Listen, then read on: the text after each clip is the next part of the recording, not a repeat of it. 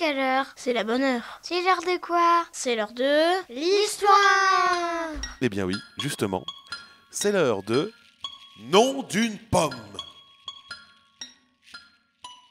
Jo, le ver de terre, était en train de faire la sieste lorsqu'il reçut une pomme sur la tête. Nom d'une pomme, qu'est-ce que c'est? s'écria-t-il apeuré. Quand il vit le beau fruit, il eut tout de suite envie d'y plonger pour le manger. C'est alors qu'arriva un second ver de terre. Bonjour, je m'appelle Jean-Pierre. J'aimerais bien manger ta pomme. Jo, le premier ver de terre, regarda le deuxième ver de terre de travers. Si je te donne ma pomme, que vais-je manger, moi? On pourrait peut-être la partager répond Jean-Pierre. Jo, le ver de terre, réfléchit. Si on la partage, je n'en aurai plus que la moitié. Or, je préfère la manger en entier. Dans ce cas, je m'en vais, conclut Jean-Pierre le ver de terre, en se tortillant déjà vers le champ d'à côté. Mais Joe, aussitôt, eut des regrets. Oui, mais j'aimerais bien avoir un copain. Reviens Il coupa sa pomme en deux et en offrit la moitié à Jean-Pierre. Un pépin tomba dans l'herbe. Il paraît, raconta Jean-Pierre, que si on enfouit cette graine dans la terre, il en sort un arbre à pommes. Et sans attendre, il planta le pépin. Tu es sûr que ça va marcher? demande Joe, un peu inquiet. Le temps passa et un magnifique pommier poussa au sommet de la colline. Joe et Jean-Pierre n'avaient jamais vu de leur vie autant de pommes à déguster. Ils s'apprêtaient à faire un festin bien mérité quand arriva un troisième ver de terre. Bonjour, je m'appelle Chantal. J'aimerais bien goûter aux pommes de votre pommier, annonça-t-elle. Quand même, ce pommier, c'est à nous.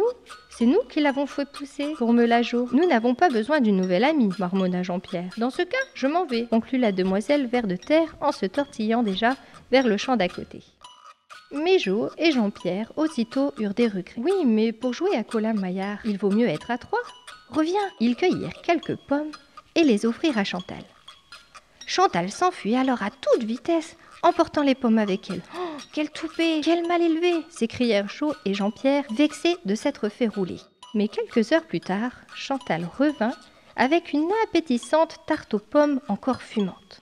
En attendant que la tarte refroidisse, Jo, Jean-Pierre et Chantal firent la plus chouette des parties de Colin Maillard de toute leur vie de vers de terre. Jo, Jean-Pierre et Chantal s'apprêtaient à mordre dans la tarte aux pommes quand arriva un quatrième ver de terre. Bonjour, je m'appelle Natacha. J'aimerais bien goûter à votre tarte aux pommes. Bon alors, celle-là, elle est vraiment pas gênée, grommela Jo. Si on lui donne, on en aura moins à manger, marmonna Jean-Pierre. On n'a pas besoin d'elle pour s'amuser, siffla Chantal. Dans ce cas, je m'en vais, conclut la demoiselle ver de terre en se tortillant déjà vers le champ d'à côté. Mais Jo, Jean-Pierre, Chantal eurent aussitôt des regrets. Ouais, mais pour jouer aux cartes, c'est mieux d'être à quatre. Reviens Ils coupèrent une part de tarte et l'offrirent à Natacha. Natacha, pour les remercier, commença à chanter. Pom pom pom pom pom.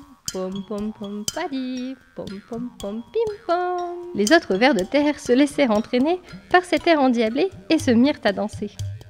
Jo, Jean-Pierre, Chantal, Natacha dansèrent et chantèrent toute la journée, puis toute la nuit. Ils riaient, sautaient, valsaient, si bien que les pommes du pommier tombèrent par terre et se mirent à rouler.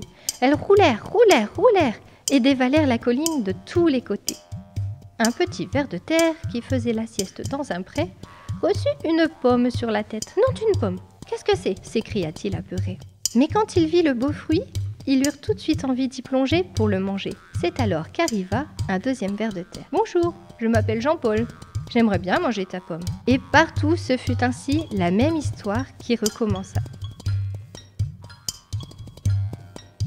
C'est déjà fini Bah oui, Faudrait que ce soit tout le temps l'heure des histoires. ah ça ce serait chouette. J'adore les histoires. Allez, zou.